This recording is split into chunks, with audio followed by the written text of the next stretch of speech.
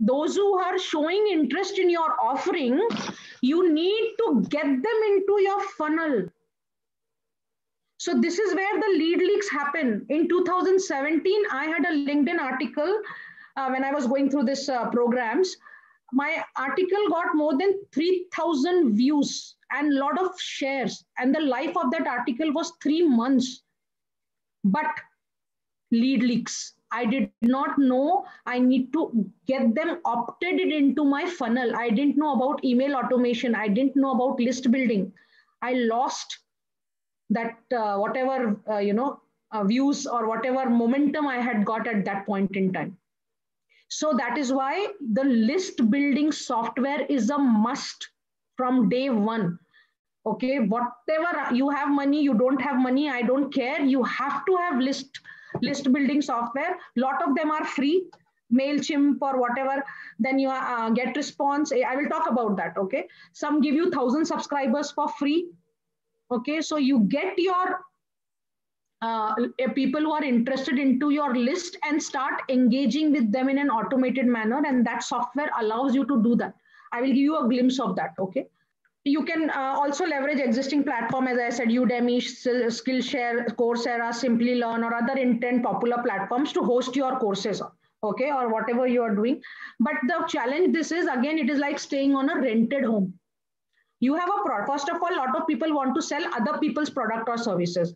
That itself uh, does not give you enough control on your life and business. I am recommending create your own product and have your own learning management system. Everything is in your control. The challenge with Udemy and all are that how will you market that, right? You'll it is left up to still you will have to market. I don't know how somebody will find you there. Among uh, one and a half lakh courses, the last statistics that I have found. So, you know, these are all time pass. If you're doing it for hobby and time pass or a side hustle or, you know, some extra income, pocket money, then all these things are good. But if you're treating it like a business, then I don't recommend you to host your uh, uh, uh, product on such platforms. Have your own hosting. Okay.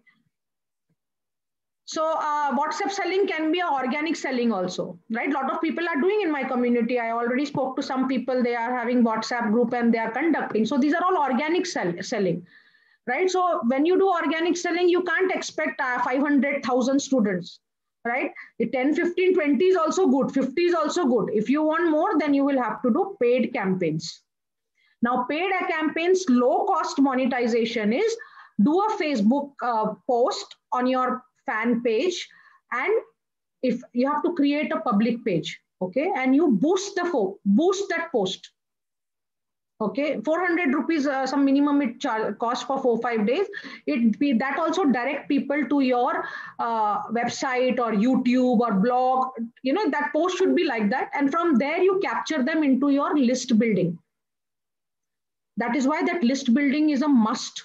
Whatever stage you are in that is your asset. We spoke about that already. And uh, if you are into full time this this is your business this is you are in the knowledge space then you will have to do, uh, will not, not, not people have webinar fatigue right now. So we will call it live selling. I'm not going to call this webinar anymore. Let's call it live, live classes. And don't run it in a typical webinar selling format. As you see how you have to be different in the market. Then only people will come, right? You have to be different. You have to be different. Okay and give value give massive value sales will is an outcome of that and with a right expectation that the 80-20 rule is available, uh, applicable everywhere also, right?